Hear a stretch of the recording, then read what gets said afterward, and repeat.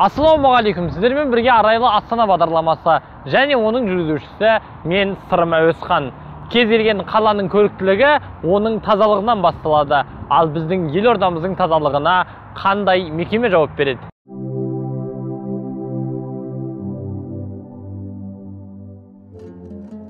Астана мемлекетіміздің айнасы бетқұстар шаһары. Сол себепті ол барлық жағынан озық болуы керек. Әсіресе елордамыздың тазалық тұрғысынан көш бастап тұруы еліміздің дамығанының көрінісі. Бұл бағытта астана тазарту ұжымының атқаратын еңбегі ерекше.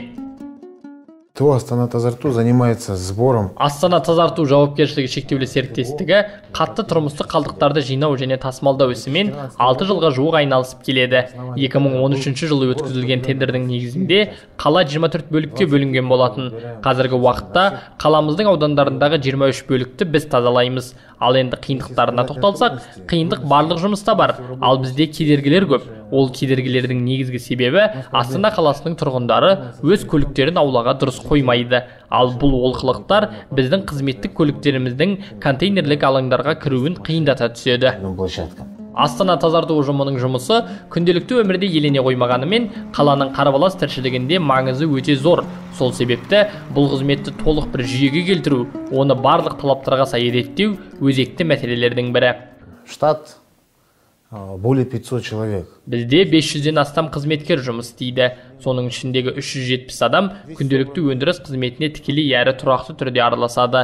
Барлық жиналған қатты тұрмыстық қалдықтар жиыны қоқысты өңдейтін комбинатқа және арнайы өңдеу және көмумен айналысатын полигонға тасымалданады.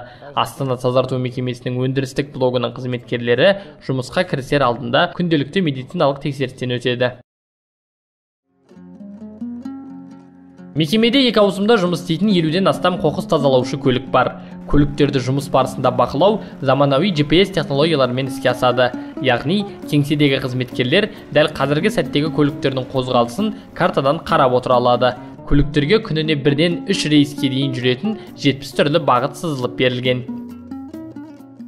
Также наши сотрудники как санитарным по санитарным нормам ежедневно получают молоко и моющие средства. Біздің қызметкерлерге барлық санитарлық нормаларға сәйкес күнделікті сүт пен жууға арналған заттар беріледі. У нас э, добавляется до 12 дней. Жалпы еңбек демалысына біздің тарапымыздан 12 күнге дейін қосылады және арнайы сауықтыру жәрдемақысы төленеді.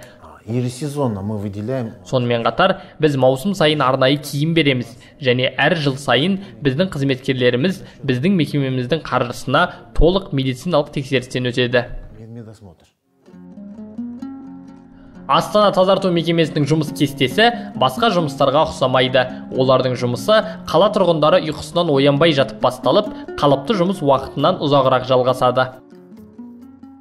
Рабочий жұмыс күні екі ауысымға бөлінеді. Бірінші ауысым сағат таңғы алтыда басталып түскі бірге дейін созылады. Ал екінші ауысым түскі екіден түнгі онға дейін болады. Астана тазарту қызметкерлерінің еңбегі орасан зор. Олардың жұмыс кестесінен аз да болса ауытқуы барша қала тұрғындарына ыңғайсыздық тудырары рас. Сол себепті де астана тазарту мекемесінің қызметкерлері аса жауапты келеді. Ә, осы астана тазартуда алты жылдан астам жұмыс істеймін. Жұмысымыздың бағыты осы. Ә, қоқыстың қаланың тазалығына міндеттіміз. Ә, таңғы сағат бес жарым алтыдан шығамыз жұмыстан жұмысқа. Сол күніне жасайтынымыз екі, ре- екі рейс. Қоқыс қа- қала міндеттелген маған жұмыстарды орындаймыз сол. Бұл жұмыс толық жүйеге қойылған. Бұл қызметтегі әрбір адамның қаладағы бірнеше нүктеге жылдам барып уақытылы қызмет атқаруы осы сөзімізге айғақ болса керек. Бізде өзімізге маршруттың лист береді жаңағы путевкадан бөлек жол путевкадан бөлек маршрутный лист береді. Ол жаңағы немен осы қаланың ә, берілген 20 точкасы болады. Соны аламыз. 22-27 точкаға дейін дейді әр үйдің ауласында 7-8 мынау қоқыс салатын контейнерлер тұрады әр аулада. Әр жерде әр қалай ғой бір жерде 12 тұрады үйдің аумағына қарай. Сол жұмысымыз жақсы. Астана тазарту ұжымының қызметкерлері өз жұмысына адал әрі жұмыста жасалған барлық жағдайларға дән риза. Бұл игіліктердің барлығы елдегі тұрақтылық пен алтыннан қымбат азаттықтың жемісі деп біледі мекеме қызметкерлері. Жаңағы жұмыс не болғаннан кейін жалақымызды уақытында беріп жатыр қазір. Жалақымызға өзіміз ризамыз жақсы. Одан артық енді үкіметтің кесілген жалақы ғой бізге. Соны береді. Алдымызда келе жатқан енді қазақстанның егемендігіне 25 жылдық болып жатыр келе жатыр оған енді бүткіл қазақстандағы жұртшылығын құттықтаймын. Еліміздің тәуелсіздік 25 жылдығымен. Ал енді біздің астана тазарту атынан осы қаланың тазалығына соған күнде нетіп салып жатырық еңбек етіп жатырық қазақстанымыз гүлдей берсін. Ел аман болсын. Ел аман болса келеді ғой енді жұрт. Көк туымыз желбірей берсін.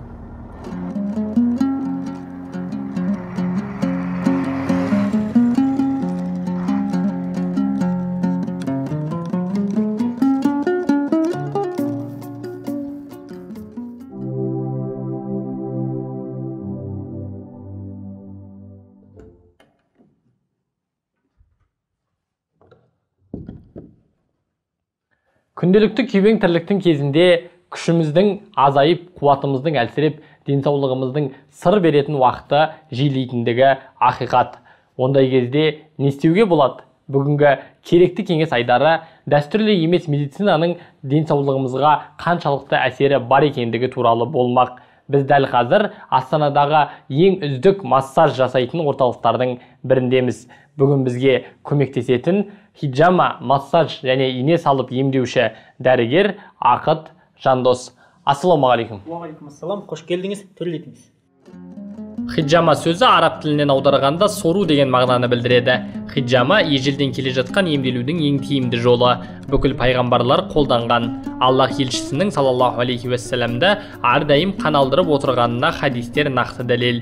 Ата бабаларымыз хиджаманың көп сырқатқа шипа екенін біліп қан қысымы бас ауруы қан қоюлануы мен рухани кеселдердің алдын алып емдеп отырған. Хиджаманы бұрынғылар шертпе мүйізбен арам қан шығару деп те атаған. Мен дәл осы уақытта астанадағы медакадемия университет медицина университетінде мен интернатура бағытында оқимын биыл алла қаласа бітіремін. Ал осыған дейін қытайдың шанхай қаласында арнайы осы массаж ине және хиджама жағымен оқып үйреніп келдім. Осы астанада айланысып жүргеніме кем дегенде үш жылдан артық уақыт болды. Ол бұл хиджаманың ең басты ерекшелігі дейтін болсақ бұл адам организміндегі яғни қарапайым сөзбен айтқанда арам қанды яғни тері мен бұлшықеттердің арасындағы яғни арам қанды шығару болып табылады. Бұның ең маңызды мақсаты және артықшылығы ең бірінші бұл адамның қан айналымын жақсартады. И екіншіден ол инфаркт инсульт деген аурулардың алдын алады және де бұл варикоздық қан тамырларының кеңеюінің сонымен қатар қан қысымының жоғарылауы және де жасы үлкен адамдардағы мысалы әртүрлі қан ауруларының алдын алуына өте себебін тигізеді. Адам бойында 5 литрдей қан болады екен. Осы мөлшердің жартысы ғана денені қоректендіруге жұмыс жасайды. Ал қалғаны резервте яғни пайдаланылмай тұрады екен. Тұрған қан ұйып қою тартады екен. Жүрекке артық жұмыс жасау сол себепті оның ауруы ағзаның әлсізденуі осылай басталады. Бұның бірден бір емі қан алдыру бастан аяқтан арқадан жалпы қай жеріңізде ақау бар сол жердің бәрінен қан алуға болады. Бұл қан алғандықтан қан айналымы жақсарады қан айналымы көлемі жақсарғандықтан организмдегі бүкіл мүшелерге қан толығымен келе бастайды. Қан толығымен келгендіктен ол ағзалардың қызметі жақсарады яғни. Қызметі жақсарғандықтан адамдардың яғни ауру шыңдығы төмендейді. Яғни аурудың деген аурулардың алдын алуға болады. Ал діни саласынан қарайтын болсақ хиджама яғни мұхаммед саллаллаху алейхи уассалам өзіміздің арнайы пайғамбарымыздың сүннеті яғни бұл. Хиджама бұл жасатқандағы ерекшеліктері жаңағы айтқан барлық аурулардың алдын алады. Сонымен қатар адамның есте сақтау қабілетін жақсартады. Жұмысқа деген қабілеттілігін арттырады. Сонымен қатар шаршаған қазір қаладағы қозғалыс жұмыс барлығы жұмыс жұмыс. Таңертең кетеді кеш келеді сонда бүкіл адам организмі шаршап әлсізденеді. Соның алдын алу ретінде жасаған өте пайдалы болып табылады. Алайда бұл емдік шараны жасауға болмайтын жағдайлар да бар. Ал бұған қарсы көрсеткішке келетін болсақ ең бірінші қан аурулары яғни қант диабеті гемофилия қанның ионың төмендеуі деген сияқты өте қан, қан аурулары болып табылады. И және де жасы өте үлкен адамдар болып табылады. Сондай адамдарға жасаған жасау қарсы көрсеткіш болып табылады. Хиджама жасаудың өз реті бар. Оны білмей емге кірісу үлкен зардаптарға әкеп соғады. Хиджаманы жасаудың өзінің ерекшеліктері болады. Мысалы әрбір точкада әр жерге қай жерде қалай орналасқанына бұлшық еттердің терінің қалай орналасқанына байланысты қалай сен тілім жасайсың ол қандай көлемде болу керек и және де қанды қанша мөлшерде шығатынын барлығына сай болу керек болып табылады. Бұл орталық тек қан алумен ғана емес сонымен қатар түрлі емдік массаждармен де айналысады. Тек қана хиджамамен емес сонымен қатар массажның барлық түрлерімен айналысамыз и гуаша мысалы сонымен қатар массажный мысалы китайский массаж общий классический общий точечный массаж массажның айтқан кезде барлық түрімен японский массаж деген массаждың түрі бар бетке массаж жасайды арнайы и және де массаж стопы тек аяққа жасайтын массаж ол өте аяқта бүкіл адам организмінде аяқта точкалар орналасқан. Яғни сол точкаларды массаж жасау арқылы организмнің қызметінің қалыптасуына алып келуге болады. Барлық талаптарға сай жасалған массаж қарбалас тіршіліктен қажыған қала тұрғындарына көптеген пайдасын тигізеді. Ал бұл массаждың пайдасы өте көп болып табылады. Себебі бұл тағы жаңағы айтып отырған ең бірінші барлық қазір адамдар жұмыс жұмыс жұмыс салауатты өмір салтын қалыптас салауатты өмір салтын ұстанатын адам өте аз қазір. Ұстанудың өзі де мысалы уақыты жоқ көбінесе. И сонда бұл массаж жасататын болса ең бірінші массаж адам организміндегі ә, бөгде заттардың яғни тұздардың басқа да заттардың жиналуының алдын алады мысалы. И және де бұл қан айналымды да жақсартады. И және өмірге деген құлшыныс арттырып ол адамның сергектігін яғни жұмысқа және де басқа да бір ә, жұмысқа деген ақ қуаттылығын арттырады. Массаждың емдік пайдасы да бар. Мамандардан нақты кеңес алып әр аурудың сипатына сай дауалы массаж жасатсаңыз алла шипа береді деген ойдамыз.